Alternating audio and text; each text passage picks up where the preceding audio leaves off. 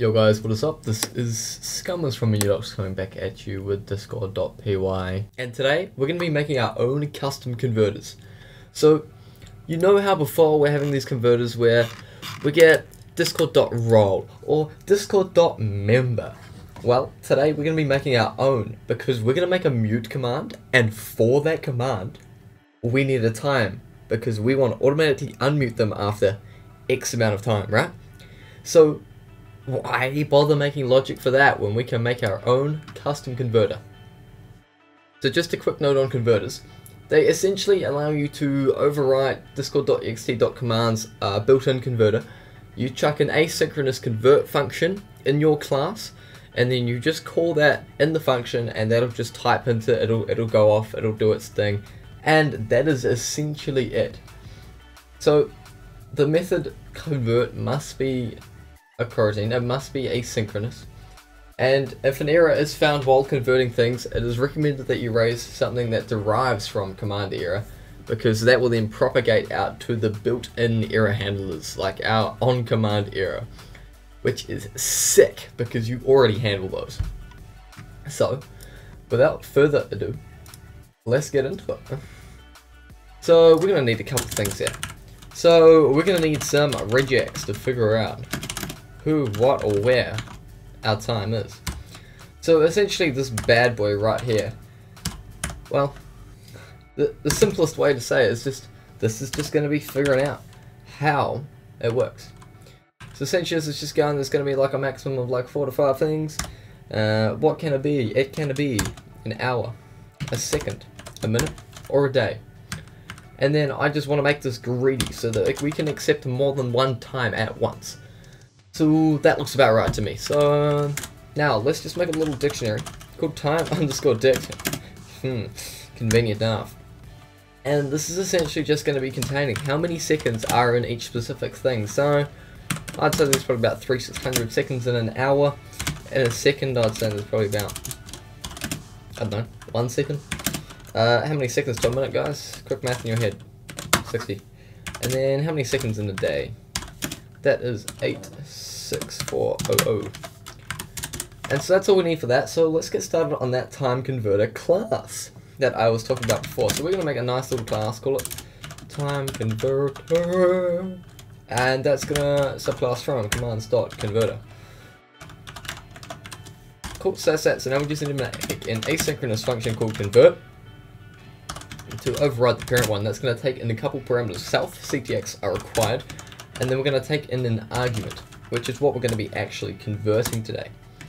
So we're going to make our args, uh, the lowercase, from this. That way it matches our regex. Otherwise, our regex is going to have just a wee little problem trying to find all of the matches in there. So our pattern is going to be the regex, and then we're just going to pass an args. So that's going to go through the arguments we pass in the mute command, compare them against this regex, and then we're gonna use the regex we get back to check against the time dictionary. And what's the time we're gonna return? Zero, of course. Nah, that's not true. Then we're just gonna go for key value and matches. Can't spell.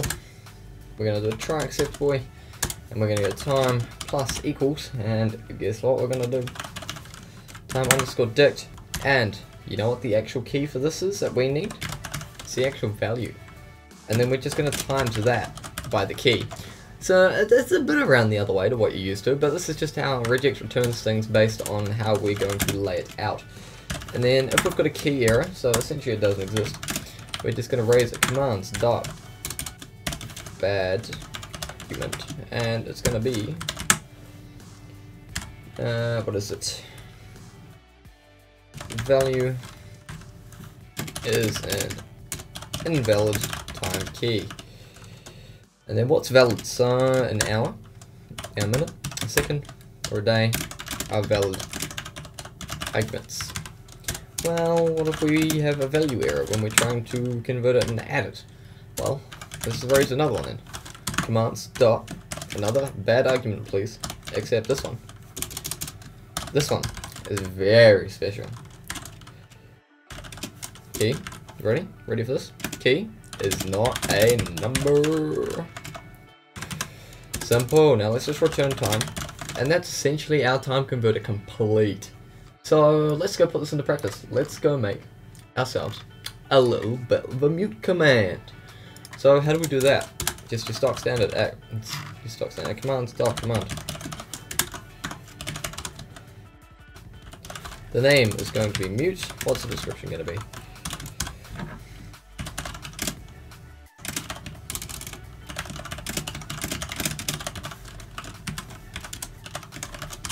What do we need to mute someone? We need the user to mute, and we want time as being optional. And I kind of don't want just anyone being able to use this. So we are going to not use that.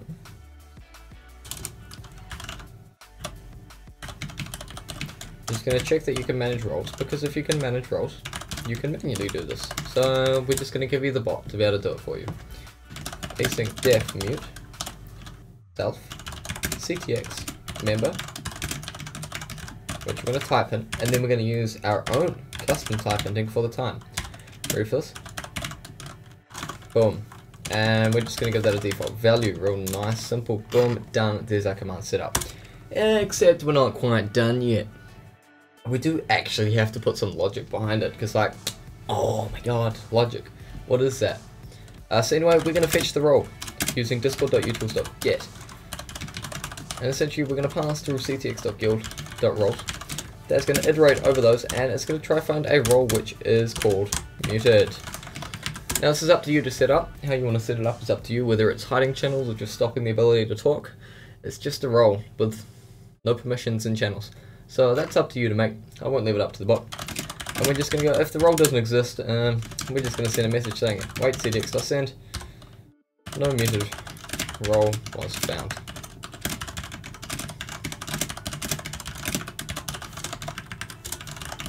So that's going to handle it. So if there is no muted role, it doesn't break. And then if we get this far, it means we do have a muted role. So we're going to just add that role to the user so they're now muted and then we're going to send a message in chat saying, hey look, this user is now muted. Except I kind of want to make it a ternary, because you know, what if there's time and what if there's not time? So we're going to put some more brackets in here, and then we're just going to go muted. Remember, dot display underscore name, please. Oh. For time s, if time, else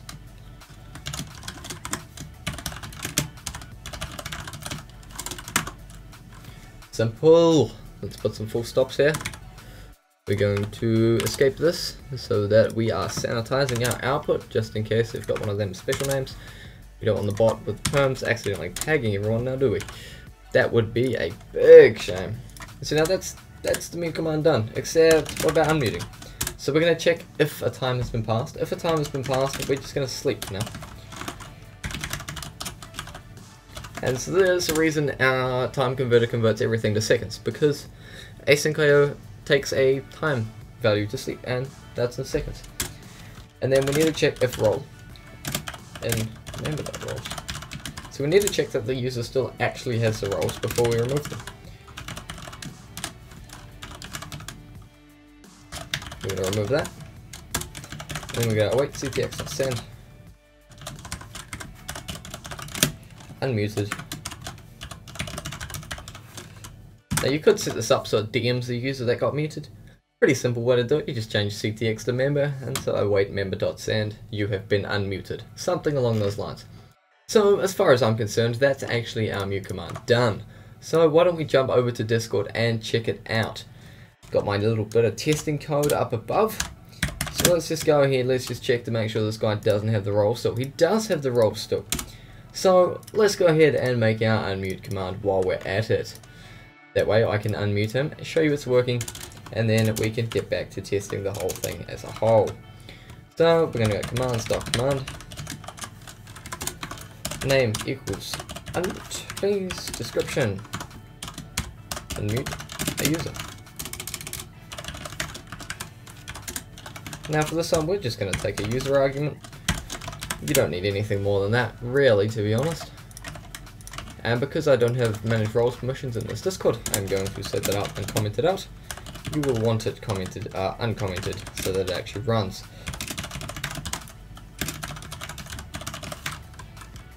Cool, so that's that done. Let's just quickly check on some perms, copy and paste this across because it's the exact same code. Now, again, we're to take this. We're to go if role in members. Actually, if role not in member.roles. Let's take this. This is essentially going to say uh, if they don't have the role, they're not actually muted. So this member is not muted. Otherwise, we're going to unmute them. And that is all of our commands for this episode done. So let, us go ahead, let's go check that the unmute command works. Bam, look at that. And now, he's no longer muted. What if I just want to mute him? Bang, look at that, watch this. Boom, he's got the muted role. That's how you do it. Now he can't talk in this chat. It's kind of sad because it's my alt and uh, you know, I'm just on my phone chilling, like I'm trying to type and then, ah, I've been muted. anyway, let's unmute him. So now we're good to go. He's unmuted. So let's mute mute him for how long? 15 seconds. Muted God of Rush code for 15 seconds. Now, let's see if I can't chat for 15 seconds, eh?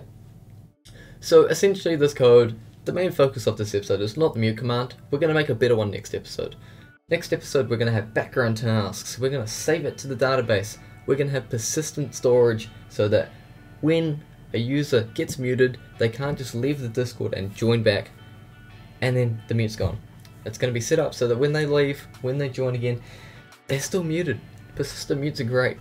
And now you notice that it said I've unmuted God of the Rush code, he's unmuted, that's it, that's it, it's that simple. So essentially that's it for this episode guys. Thanks for watching, hang around for the next episode, it's going to get way better. This mute command is just going to get like fully transformed, become way better. So essentially what we're just trying to say is, you know, this code works, but it's not the best way to do it. Hang around for next episode where I improve it, and uh, that's all guys. As always, have fun coding.